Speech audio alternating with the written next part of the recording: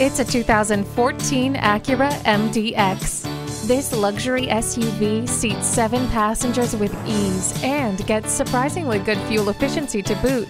The whole family will love every minute inside, in part because of the power moonroof, climate control, heated front seats, and leather upholstery. It also features a power liftgate, V6 engine, and stability and traction control. Ward off the chills with the heated seats. Doors open and your path is well lit with HomeLink. Safety comes by being aware of your surroundings, and for that, the blind spot indicator can't be beat. Who says luxury and utility can't coincide? This MDX begs to differ. Come in for a test drive today.